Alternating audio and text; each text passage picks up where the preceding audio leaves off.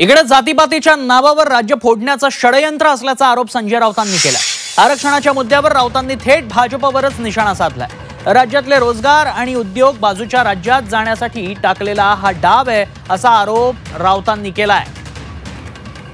अभी कुछ महीनों से या कुछ सालों से जब से बीजेपी आई है यहाँ तब से इस राज्य में जात के आधार पर Maratha versus OBC, Maratha versus Dhangar, Maratha versus से दलित, ये सबको एक दूसरे के खिलाफ झगड़ने के लिए मजबूर किया जा रहा है। तो शिवसेना से आह्वान है सबको कि हमारा राज्य अस्थिर करके यहाँ का उद्योग, यहाँ का रोज़गार कुछ लोग बाहर बाजू के राज्य में ले जाना चाहते हैं।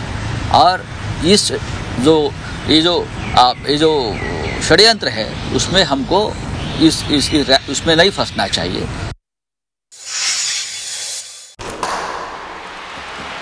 लाल मातीतली कुस्ती म्हणजे